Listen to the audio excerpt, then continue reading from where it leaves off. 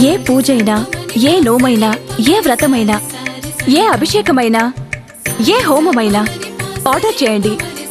అందుకు అవసరమైన పూజా సామాగ్రిని డోర్ డెలివరీగా పొందండి. ఈరోజే మీ పూజా సామాగ్రి కొరకు ఈ పూజా స్టోర్ డాట్ ఇన్లో లాగిన్ అవ్వండి.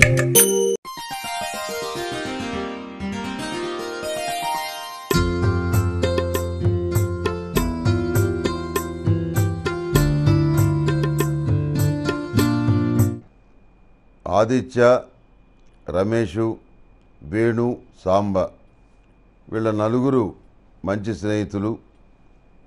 ఇంజనీరింగ్ కాలేజీలో సెకండ్ ఇయర్ ఇంజనీరింగ్ చదువుకుంటున్నారు.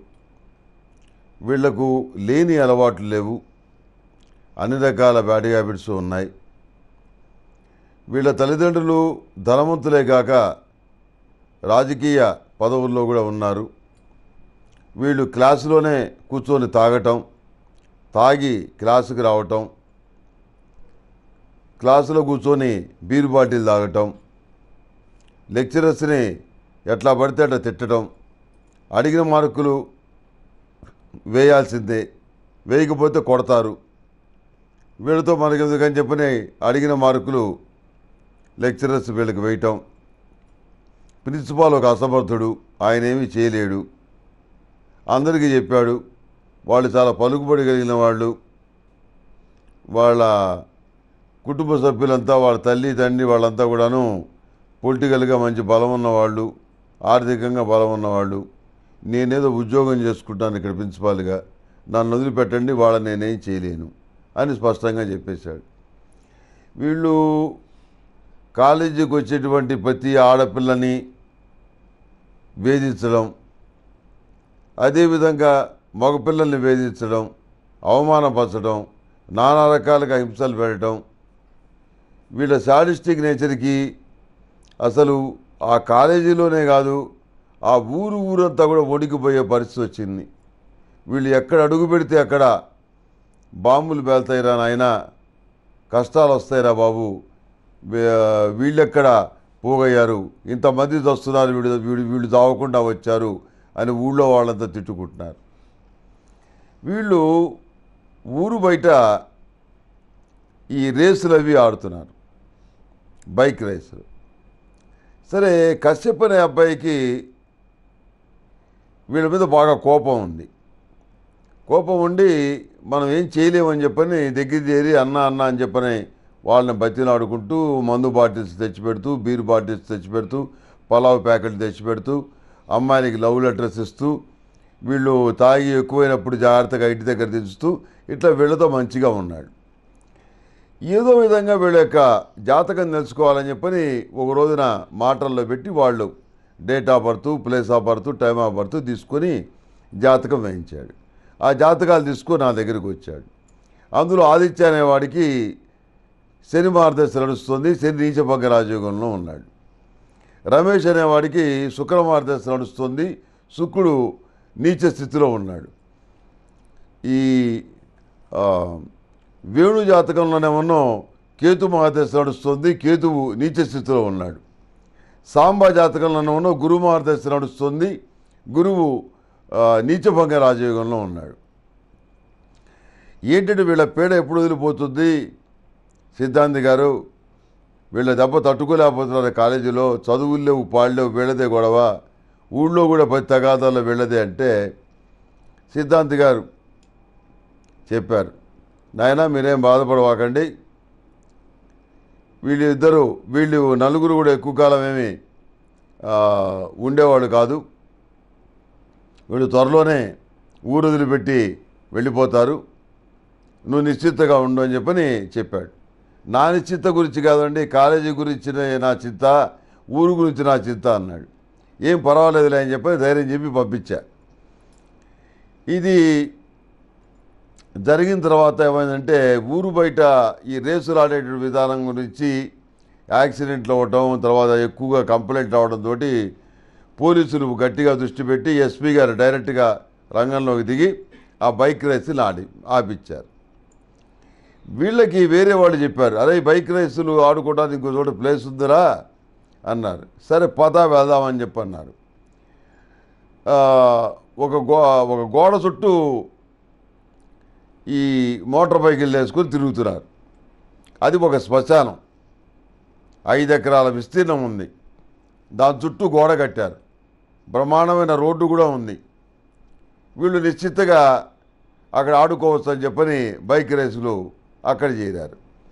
చేరిన తర్వాత వీళ్ళు అనుకున్నారు శ్మశానం లోపల ఇంకా బాగుంది అక్కడ ఆడుకుందామని చెప్పని కాటికాపరికి కాటి కాపరికి డబ్బులు ఇస్తాం మేము లోపలికి వెళ్ళి బైక్ రేసులు చేసుకుంటాం అన్నాడు. అంటే కాటి కాపరి అన్నాడు వద్దు బాబు లోపల పిశాచాలు ఉంటాయి మీరు ఇబ్బంది పడతారు బయట ఆడుకోండి కానీ శ్మశానం లోపల మాత్రం వెళ్ళవాకండి మీ మేలుగోరు చెప్తున్నాను అన్నాడు. అనేటప్పటికీ నేను పిశాచాలతో కబాడీ ఆడిస్తా నేను పిశాచాలతో సిగరెట్ తెప్పిస్తా నేను పిశాచాలతో మందులు తెప్పిస్తా పిశాచాలు ఎక్కడ ఉన్నాయో వాటికి కూడా డబ్బులు ఇస్తాను అని మాట్లాడేటప్పటికి ఈ కాటి కాబట్టి కొంచెం ఎంతైనా కొంత ఆత్మగౌరవం ప్రతివాడికి ఉంటుంది ఇంకా ఆత్మగౌరవం దెబ్బతింది. సరేలే వీళ్ళు బాగా పొగర మీద ఉన్నారు మనం ఎందుకు మాట్లాడాలని చెప్పని సరే బాబు మీరు ఆడుకోవాలంటే ఆడుకోండి ఇవాళ మాత్రం కుదరదు ఎల్లుండి వచ్చి ఆడుకోండి బైక్ రేసింగ్ నాకేం అభ్యంతరం లేదు అని చెప్పని అన్నాడు ఎల్లుండి అంటే కరెక్ట్గా ఆదివారం అమావాస్య. వీళ్ళు వచ్చారు యాభై వేలు ఇచ్చారు కాటికాపరికి గేటు తీశాడు లోపలికి వెళ్ళి వీళ్ళు ఓ రెండు గంటల సేపు బైక్ రేసులు లోపల ఆడారు ఆడి కొంచెం చీకటి పడుతుంది లైట్లు వేసుకుని మళ్ళీ ఒక రౌండ్ తిరిగారు. తిరిగి ఈ ఆదిత్య అనేవాడు మర్రి చెట్టు దగ్గరికి వెళ్ళి మోటార్ బైక్ నిలబెట్టి సిగరెట్ కాలుస్తున్నాడు. మోటార్ బైక్ ఇంజను ఆపలేదు. మోటార్ సైకిల్ అలాగే ఉంది. వీడు సిగరెట్ కాలుస్తున్నాడు. సిగరెట్ అయిపోయింది కింద పడేసి ఇంకో సిగరెట్ మళ్ళీ వెలిగిస్తున్నాడు. వెలిగిస్తుంటే ఎవరు ఉఫ్ఫను ఊదినట్టుగా అది ఆరిపోతుంది. ఎన్ని పుల్లలు ఇచ్చా వెలగట్ల. చీ మరి దరిద్రంగా ఉన్న వాతావరణం ఇక్కడ అని చెప్పి నా మోటార్ బైక్ని ఎక్సిలేటర్ తిప్పాడు వెళ్ళటానికి. ఎక్సిలేటర్కి ఎంత గట్టిగా తిప్పినా మోటార్ సైకిల్ అంగుణం కూడా కదలటల్లా ఇదేమిట్రా ఇట్లా ఉందని చెప్పని అనుకొని మళ్ళీ సిగరెట్ తీసి వెలిగిస్తే ఉఫ్ అని ఎవరో ఊదినట్టుగా ఆరిపోతుంది. వెంటనే రమేష్ని పిలిచాడు. పదిసార్లు పెద్దగా పిలిస్తే వాడు వచ్చాడు. ఏమిట్రా అన్నాడు. ఏం లేదురా బండి కదలటం లేదు సిగరెట్ ఎలగట్లేదురా అన్నాడు. నీకు ప్రతి భయమేరా? అని చెప్పని ఓ సిగరెట్ తీసి వెలిగించాడు.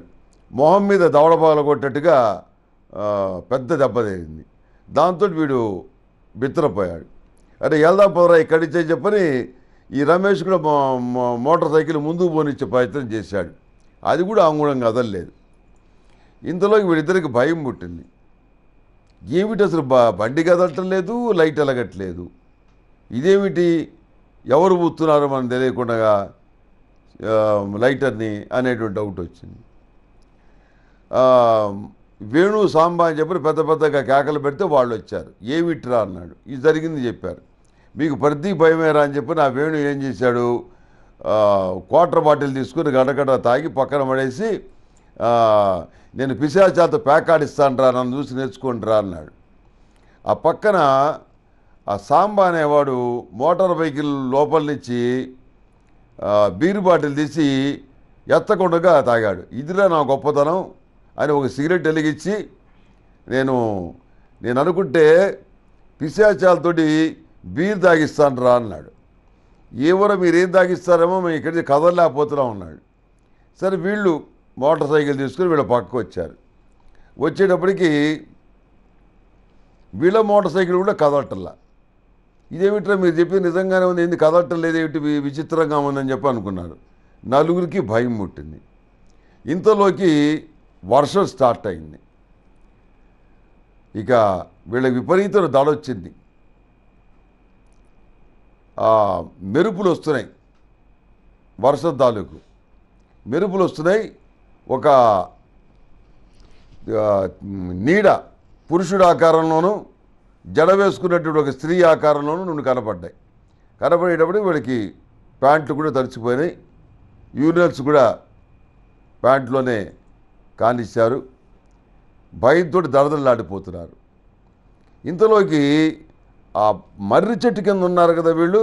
ఆ ఊడలు ఊపినట్టుగా వచ్చి దబేలు దబేలు దబేలు దబేలు మళ్ళీ ఈకులు బయలిందా కొట్టినాయి వీళ్ళు వామో వాయు అని కేకలు పెడుతున్నారు. రక్షించండి రక్షించండి అని కేకలు పెడుతున్నాడు. ఎవడు వచ్చే నాదుడు లేడు వినే నాదుడు లేడు. ఆ ఓడలా ఆగట్లేదు. తలకాయలు బాలగొడుతున్నాయి చప్పలు బాలగొడుతున్నాయి. వేణుకైతే పళ్ళు ఊడిపోయినాయి. ఈపులు బాలగొడుతున్నాయి. ఏమిట్రా బాబు అని చెప్పి ఈ కర్మ మన ప్రాణాలు పోయినాయి. మనం చచ్చిపోయాము మనకి? అంత్యకాలం దాపురిచ్చింది అనుకున్నారు. పాపం ఇంతలోకి ఆ కాటికాపరి బ్యాట్ లైట్ వేసుకొని వీళ్ళ దగ్గరకు వచ్చాడు. వాడు వచ్చేప్పటికి అక్కడ వర్షం లేదు ఏం లేదు ఈ తాటి మట్టలు ఉంటే మామూలుగానే ఉన్నాయి. వీళ్ళ దగ్గరకు చూసేటప్పటికి ఒంటి నిండా రక్తము పెద్ద పెద్ద దెబ్బలు పళ్ళు రాలిపోవటం ఇవన్నీ చూసి ఏమైంది బాబు ఏమైంది బాబు అని కంగారుగా అడిగాడు. వీళ్ళు ఏమీ చెప్పల. ప్రిస్టేజ్ పరువు పోతుందని చెప్పి నోరు మూసుకున్నాడు. వెంటనే కాటికాపరి వాడు కొడుక్కి ఫోన్ చేసి వాడు పిలిపించి ఒక టీ తెప్పించి నలుగురికి టీ ఇచ్చి మంచినీళ్ళు తాగిచ్చి ఓ చోటకు చేర్చాడు. ఇప్పటికైనా చెప్పండి బాబు ఏం జరిగింది అన్నాడు. వీళ్ళేం చెప్పల నలుగురు నాలుగు దిక్కులు పడుకొని ఉన్నారు మోటార్ సైకిల్ కూడా నాలుగు దిక్కులు పడి ఉన్నాయి. ఏం చేయాలో అర్థం కాల. బాబు మీకు ఇంత దెబ్బలు తగిలినాయి మరి డాక్టర్ దగ్గరికి వెళ్ళాలి మరి ట్రీట్మెంట్ తీసుకోవాలి మరి డాక్టర్ దగ్గరికి తీసుకెళ్ళమంటారా అని అడిగాడు. డాక్టర్ దగ్గరికి ఏం తీసుకెళ్ళొద్దు కానీ మమ్మల్ని మా ఇంటికి చేర్పించు అని చెప్పని చెప్పారు. సరే నేను చెప్పిన తను తెలిసిన ట్యాక్సీ వాడికి ఫోన్ చేసి పిలిపించి వీళ్ళ నలుగురిని ఆ ట్యాక్సీలో ఎక్కించాడు. వాళ్ళు వేణు జేబులో నుంచి అందినంత డబ్బులు తీసి వీడి చేతిలో పెట్టి బతికిచ్చేవారు నాయన అని చెప్పని ఇంటికి వెళ్ళారు ఎవరిళ్ళకు వాళ్ళు వెళ్ళారు. వారం గడిచింది. జ్వరం దగ్గల పది రోజులైంది. జ్వరం దగ్గల రాత్రిపూట ఎవరో గుండెల మీద తద్దునట్టు శబ్దాలు. నిద్ర పట్టట్లేదు తల్లిదండ్రిని అడిగితే ఏమిట్రా అని అడిగితే వాళ్ళే చెప్పట్ల సమాధానం. డాక్టర్లు ఏమో నా దెబ్బలు చూసి పోలీసులు కూడా ఇంత బీభత్సంగా కొట్టరు. వీళ్ళని ఎవరు కొట్టారో అర్థం కావట్లేదని చెప్పంటున్నారు చెప్పి అంటున్నారు. దీ దేంతో కొడితే ఈ దెబ్బ తగిలిందో కూడా అర్థం కావట్లేదు డాక్టర్లు చెప్పారు. ఇది గంటె కాదు తాడు కాదు కర్ర కాదు చెంబు కాదు మరి దేంతో కొట్టారో కూడా అర్థం కావట్లేదని వాళ్ళు అన్నారు. ఇక చిన్నంగా పదిహేను రోజులకి జ్వరం తగ్గి వీళ్ళంతా కూడా మామూలు మనుషులుగా వచ్చారు. మామూలు మనుషులు అయ్యారు నలుగురు ఓ చోట చేరారు. ఏమిట్రా ఈ కర్మ? అన్నాడు. ఏం చేస్తాన్రా? దయ్యాలు లేవని చెప్పని పిశాచాలు లేవని పిచ్చి పిచ్చిగా వాగినందుకు సాగు కొట్టినాయి. మనం ఈ ఊళ్ళో ఉంటే మనల్ని బతకనీరు అన్నాడు సాంబ. మరేం చేద్దాం ఉంటావురా వేడు అన్నాడు. ఏమొద్దురా మనం ఉన్న పడంగా మనం ఇక చదువు మానేసి ఏదో విదేశాలు వెళ్ళి చదువుకోవటం మంచిదిరా. మనం ఈ ఊళ్ళో ఉంటే ఈ పిశాచాలు దయ్యాలు మనం బతకనయ్యవు అవి మనం బాగా గుర్తుపట్టినాయి. మనం పారిపోవటమే బెటర్ రా అన్నారు.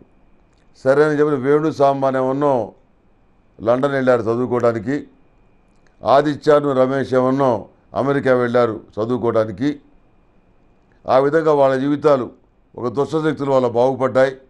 వీళ్ళ దరిద్రం పోయిందని చెప్పిన కాలేజీ హాయిగా ఉంది. వీళ్ళు పీడా వదిలిపోయారని చెప్పి ఆ ఊరంతా కూడా హాయిగా ఉంది. అందుకని ఏంటంటే నడుస్తున్నటువంటి దశలు సక్రమంగా లేనప్పుడు చెడ్డబుద్ధులే పుడతాయి. దైవానుగ్రహం ఉంటే దురదృష్టం తిరగబడ్డట్టుగా ఆ దుష్టశక్తుల యొక్క ప్రభావం వల్ల అప్పుడప్పుడు మంచి జరిగే అవకాశం కూడా ఉందని మనకి దీని ద్వారా తెలుస్తుంది. సర్వే జన సుఖనభవంతు ఓం శాంతి శాంతి శాంతి.